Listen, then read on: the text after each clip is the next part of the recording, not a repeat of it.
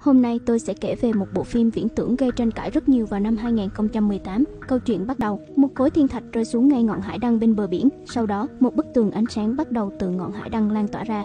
Ba năm sau, khu vực này đã trở nên rất lớn, giống như là trái đất đang thổi trái bóng lớn dần. Suốt 3 năm, con người không có hiểu biết gì về nó, bởi vì chưa có ai có thể bước ra từ đó. Máy móc, động vật hay con người đã từng vào đó thì một đi không trở lại. Trong đó có chồng của Lena. Đột nhiên, người chồng đã mất tích một năm bất ngờ quay về. Cô ấy rất vui mừng, chỉ là người đàn ông trở về rất kỳ lạ, lạnh nhạt và hoạt động rất chậm chạp, giống như đã trở thành một người khác. Cô hỏi anh đã đi đâu, anh ấy trả lời anh không biết. Sau đó anh bắt đầu ói ra máu, chưa kịp đến bệnh viện, một nhóm cảnh sát đã chặn đường họ, đưa người chồng đi và làm Lena hôn mê. Cô ấy tỉnh lại, nhận ra mình đang ở một căn cứ quân sự bí mật. Trước mắt chính là không gian kỳ lạ đó. Những người ở đây đều u ám và nặng nề, bị sợ đến mức không thể thở nổi. Trừ Lena, cô ấy nhìn người chồng không còn sống được bao lâu nữa, muốn điều tra rõ ràng xem anh ấy đã gặp chuyện gì.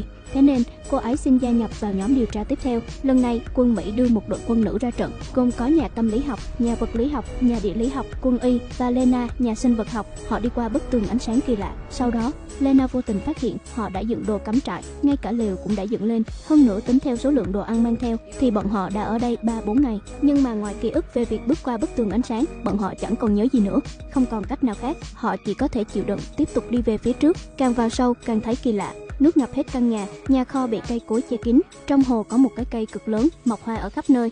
Lena nhìn những bông hoa và thấy vô cùng ngạc nhiên. Những bông hoa này không cùng một loại, nhưng lại mọc trên cùng một dây leo. Đột nhiên nhà vật lý học bị kéo vào trong nhà. Cả nhóm người liền chạy vào. Cô ấy hét lên, có thứ gì đó đang kéo cái túi của cô. Bọn họ cùng nhau kéo cô ấy lên. Vừa chạy đến bên bờ, căn nhà phát ra tiếng kêu lớn. Một con cá sấu khổng lồ trồi lên khỏi mặt nước, bò đến hướng của họ. Kỳ lạ cơ thể của nó trắng như bạch tạng. Nó há cái miệng lớn ra rồi phun máu. Súng bắn vào người nó nhưng không được. Cuối cùng Lena đã bắn thẳng vào miệng nó và cũng đã hạ gục được nó.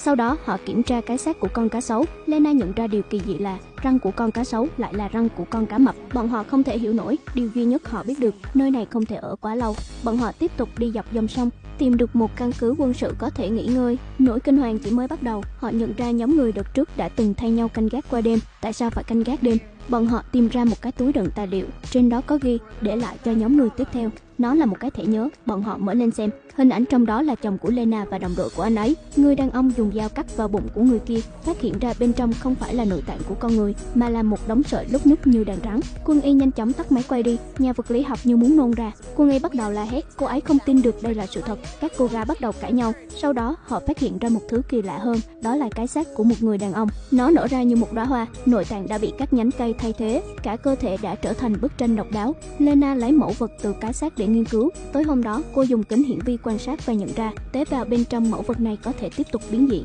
Lena bước ra, tìm được nhà tâm lý học. Cô hỏi cô ấy rằng tại sao chồng mình lại tham gia vào chuyến đi được coi là tự sát này. Nhà tâm lý học lại nói, không phải tự sát mà là tự hủy diệt. Con người rất ít khi tự sát, nhưng lúc nào cũng có tâm lý tự hủy diệt bản thân, ví dụ như là hút thuốc, uống rượu hay thậm chí là ngoại tình. Lena đã hiểu ra, do chồng đã phát hiện ra cô ngoại tình nhưng lại không muốn làm cô tổn thương, nỗi đau khổ khiến anh ấy tự hủy diệt bản thân nên anh ấy mới tham gia chuyến đi này.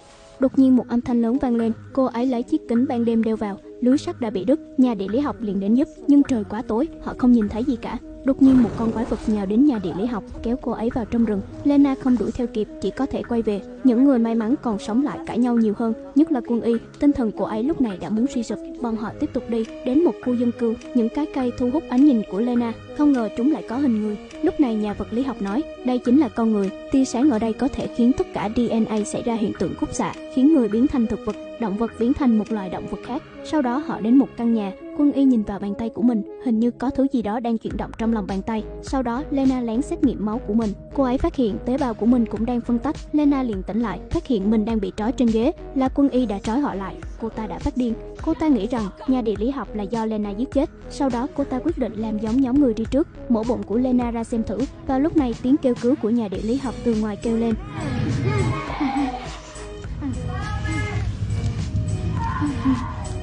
Quân y cầm súng chạy ra. Một con gấu. Không, không phải gấu. Một con quái thú biến dị xông vào nhà. Nó không có mắt, miệng nó không ngừng phát ra tiếng kêu cứu của nhà địa lý học. Lena nói thầm, đừng cử động con gấu đi xung quanh họ đến trước mặt nhà tâm lý học đột nhiên há miệng ra cắn vào vai cô ấy nhà tâm lý học sắp không chịu nổi nữa đang lúc sắp kêu lên lúc này quân y quay về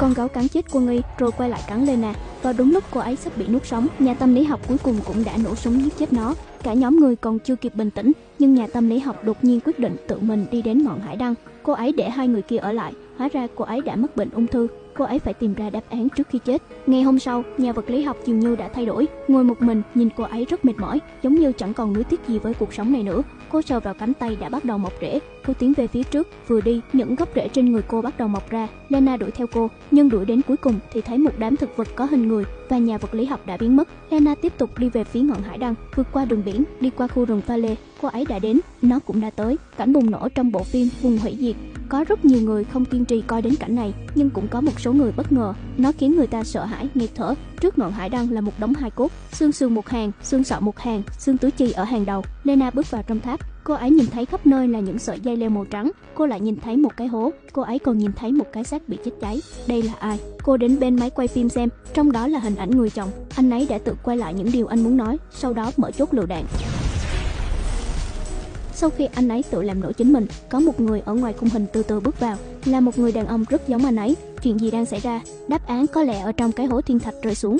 Lena trèo vào trong, bên trong là một cái lỗ rất sâu, một không gian khác. Nhà tâm lý học ngồi trong đó nói lung tung, mắt tôi đâu? Cô ấy nói với Lena, nó đã ở trong cơ thể tôi, nó sẽ sinh trưởng, còn tôi sẽ bị hủy diệt. Sau đó miệng của cô ấy bắt đầu bắn ra tia sáng, không phải tia sáng mà là từng thành phần cơ thể của cô ấy. Cô ấy bị phân tách thành những mảnh vỡ, những mảnh vỡ từ từ ghép lại thành một khối. May sao, Lena nhìn vào nó, say mê. Lúc này, một giọt máu trên mặt cô ấy đã bị hút vào trong, sau đó cô ấy nhìn thấy tế bào của mình, phân tách rồi lại phân tách ra, cho đến khi tế bào phân tách hàng trăm hàng nghìn lần và tạo thành một con người. Một con người có tạo hình kỳ dị. Lena nổ súng bắn nhưng không chết. Cô vội vàng bỏ chạy, nhưng chạy ra đến ngoài, con người kỳ dị đã đứng sẵn ở đó. Cô ấy nhìn nó, nó cũng nhìn cô ấy. Lena đi, nó cũng đi. Cô ấy lấy vũ khí đập nó, nó cũng dùng một nắm đấm đánh lại khiến cô ấy hôn mê. Tiếp theo, nó học theo cô ấy, từ từ nằm xuống đất. Cô ấy tỉnh lại, vội vàng chạy trốn, nhưng lại bị cái con người giống mình chạy qua giữ lại. Cô ấy không thể đẩy ra nổi, nó ép quá chặt, giống như muốn nuốt cô vào cơ thể của nó. Cuối cùng, cô cũng thoát được. Cô ấy xoay người, cùng một tư thế với nó và té xuống đất. Đến khi tỉnh lại, cô ấy không chạy nữa. Cô ấy nhìn nó, đang tính toán gì đó. Rồi cô lặng lẽ bước đến cái xác của chồng mình, nhặt lựu đạn lên, đưa cho nó. Đối phương đã thay đổi hình dạng, biến thành hình dáng giống như Lena. Lúc này cô ấy gỡ chốt an toàn ra rồi chạy mất.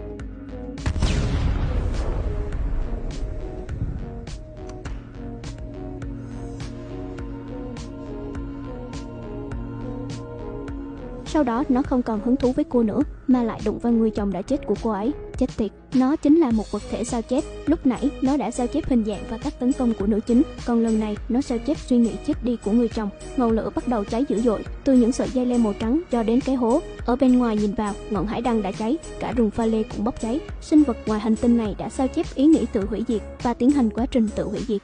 Cô ấy thắng rồi, sau đó, cô ấy bị bắt về căn cứ quân sự bí mật. Người ta hỏi cô ấy rất nhiều, cô ấy cũng nói hết sự thật. Nó đã sao chép tôi, nhưng nó không tấn công tôi, nó không hủy diệt, nó chỉ đang thay đổi thế giới mà thôi. Cuối cùng, Lena gặp lại chồng mình, người đàn ông đã hồi phục như một điều kỳ lạ. Cô ấy hỏi, anh có phải là anh ấy không? Anh ấy nói, không phải. Sau đó anh ấy hỏi lại, em có phải cô ấy không? Lena không trả lời, hai người ôm chặt lấy nhau. Lúc này mắt nữ chính đã có những màu sắc khác nhau bắt đầu thay đổi.